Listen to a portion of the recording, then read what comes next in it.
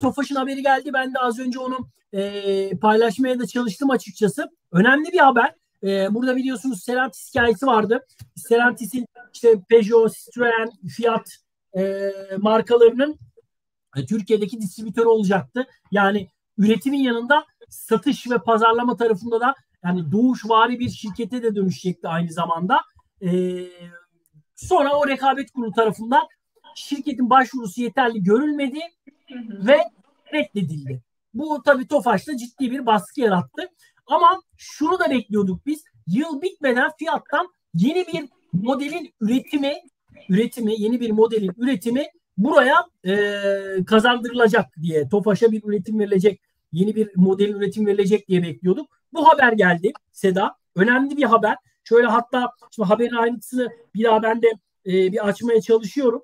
E, burada e, Fiat, Opel, Citroen ve Peugeot için öngörülen yeni bir modeller. K0 modeli. Hafif ticari araç. Hafif ticari araç olması da önemli. Çin rekabetinden çok etkileniyordu Tofaş. Özellikle binek tarafında. Ama hafif ticari araç tarafında rekabet Çin'de o aşamada değil. Çok çok daha düşük seviyelerde. Bunu Ford'dan biliyoruz. Çok sınırlı pazar kaybından ötürü.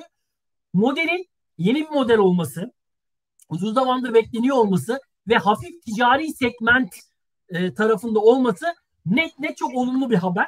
E, hemen de hızlıca üretim bantları ayarlanıp 2024 bitmeden belki üretime başlayacaklar. 2025'te de iyi bir katkı gelecek.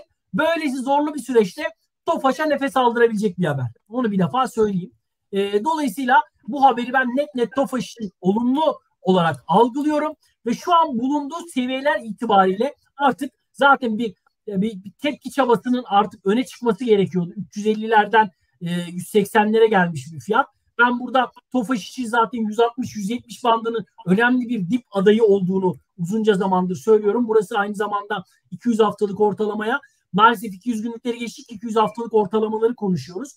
Tofaş'ta 160-170 bandı çok önemli bir destektir.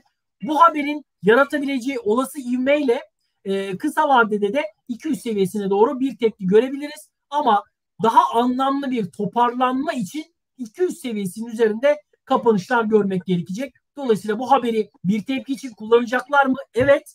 Ama 200'ün üzerinde kapanışlar yetecek mi? Burayı yakından izlemek gerekecek.